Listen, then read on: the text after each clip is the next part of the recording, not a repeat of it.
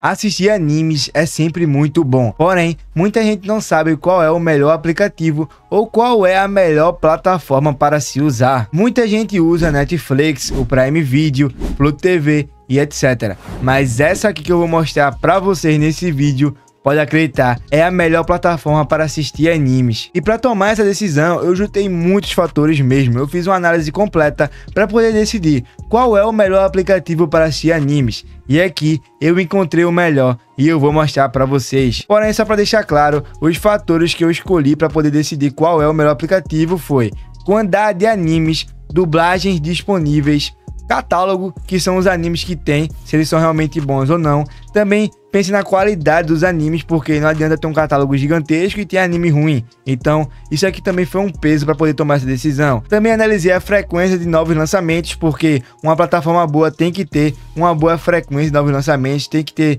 novos episódios sendo lançados quase todos os dias. Também analisei a plataforma, né, a interface para ver se é bonito ou não, e também o custo-benefício. E depois de analisar tudo isso, eu cheguei a uma conclusão e eu vou falar para vocês essa plataforma, esse aplicativo é realmente muito bom. Mas antes de tudo, se você é novo por aqui, muito prazer, eu sou Renan Rogaciano, o meu Insta tá aparecendo aqui na tela, para caso você queira me conhecer melhor. E ó, dizem que quem entra no meu Instagram tem uma surpresa legal lá, então segue lá no meu Insta e você vai ver essa surpresa. Mas antes de tudo, eu não poderia começar esse vídeo sem antes agradecer aos membros aqui do canal. Muito obrigado mesmo a todos vocês que apoiam o canal mensalmente. E se você tá aí do outro lado e também quer ajudar o canal, se torne membro e assim você vai ter acesso a vários benefícios. Se torne membro hoje eu tô te esperando lá no grupo do WhatsApp. E agora, sem mais delongas, vamos direto para o vídeo. E bem, rapaziada, agora sem muita enrolação, a plataforma que eu quero mostrar para vocês é a Crunchyroll, que é uma plataforma híbrida. Você pode usar tanto ela gratuitamente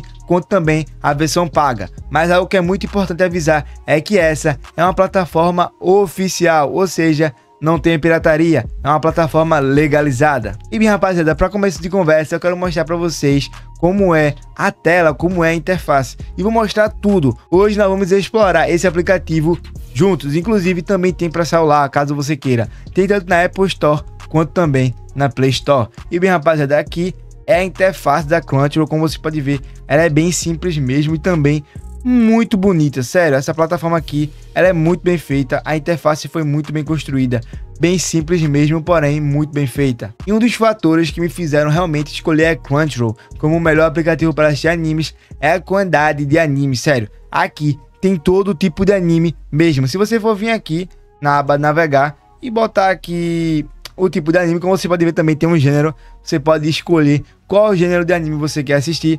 Mas se eu for ver aqui, por exemplo, anime shonen, que é o tipo de anime que mais tem fã, a gente vai ver aqui só anime popular. Por exemplo, tem My Hero Academia, One Piece, Demon Slayer, Jujutsu Kaisen, mano, é muito anime mesmo. Boruto, por exemplo, se eu vou pegar aqui um dos animes populares, vou entrar aqui na aba de Jujutsu Kaisen. Você pode ver, tem todos os episódios de Jujutsu. Aqui é a segunda temporada, que foi a última que foi lançada, até o episódio 47. inclusive, tem uma aba aqui muito interessante, que é a aba de populares, que a gente vê quais são os animes mais populares da Crunchyroll atualmente.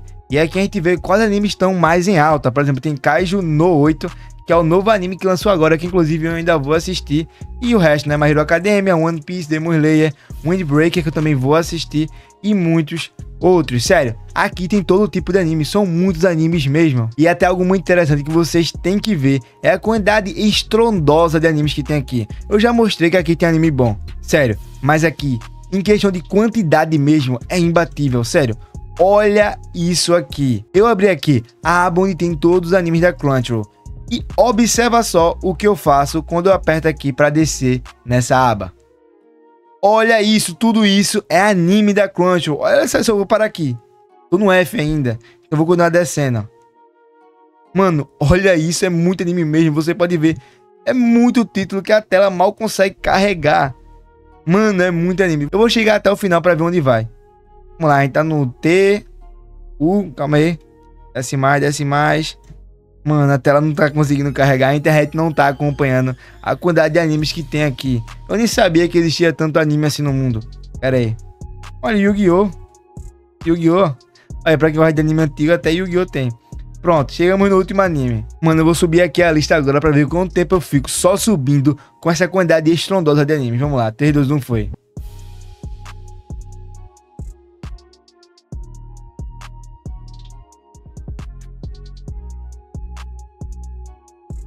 Mano. Olha isso, velho. Calma. Cheguei.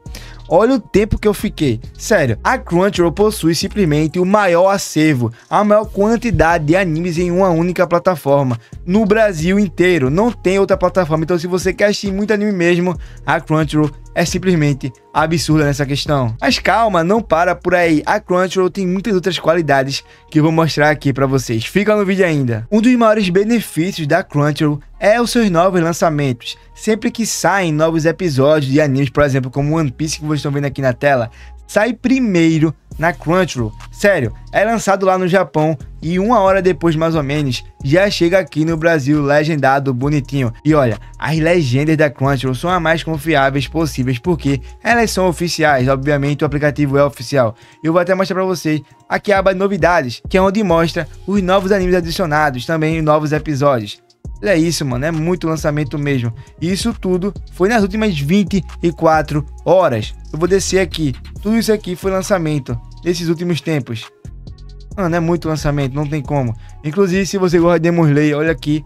Lançou um episódio novo de Demon Slayer ontem. Sério, muito bom mesmo. E se você aí também, assim como eu, tem complicação para saber a data exata que sempre lança novos episódios de animes, mano, é só vir aqui e abrir a parte de calendário de lançamentos. Como vocês podem ver, a própria Crunchyroll disponibiliza a data de quando vai ser lançado novos episódios. Por exemplo, hoje foram lançados esses animes aqui, nesses horários. Mano, é muito bom mesmo. E por incrível que pareça, o aplicativo não para por aí, pois tem muitas outras coisas. Por exemplo, a aba de notícias, onde aqui na aba de notícias eu consigo saber tudo sobre o que tá rolando com os animes. Se aconteceu alguma coisa com One Piece, se algum episódio foi cancelado ou algo do tipo, vai estar tá aqui na aba de notícias da própria Crunchyroll, sério. Não é um aplicativo apenas para assistir animes, também é um aplicativo onde podemos ficar sempre conectados com todas as informações sobre os animes. Por exemplo, segunda temporada de Solo Leveling é oficialmente anunciada com transmissão confirmada da Crunchyroll. Por exemplo, isso aqui é muito interessante para quem acompanha o mundo dos animes, pois sempre fica ligado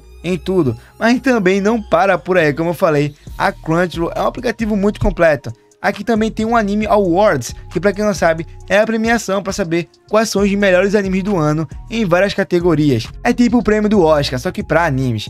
E como vocês podem ver, já rolou o Anime Awards de 2024 e o anime do ano foi Jujutsu Kaisen, o melhor anime original foi Buddy Deads, enfim, são muitas coisas mesmo, você pode votar tendo conta na Crunchyroll, isso é muito legal. Mas obviamente não para por aí. A Crunchyroll também tem a aba de jogos. Se você gosta de jogar, mano, é incrível. A Crunchyroll tem tudo. Inclusive tem aqui o jogo de One Punch, onde você pode estar jogando, você baixa. Enfim, tem vários jogos mesmo, se você for descendo aqui, como vocês podem ver.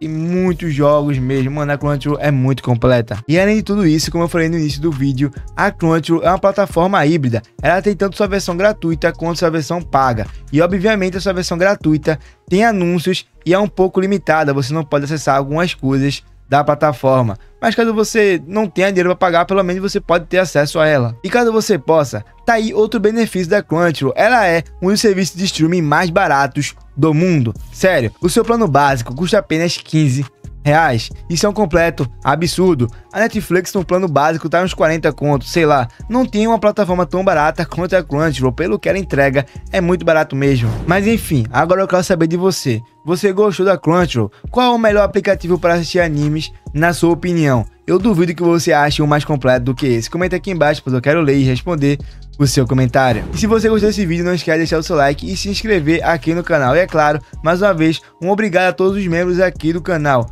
Obrigado mesmo a vocês que estão apoiando o canal mensalmente. E se você está aí do outro lado, também quer apoiar o canal, se torne membro e assim você vai ter acesso a vários benefícios. Se tornando membro hoje, eu estou te esperando lá no grupo do WhatsApp. E agora eu te vejo no próximo vídeo. Valeu!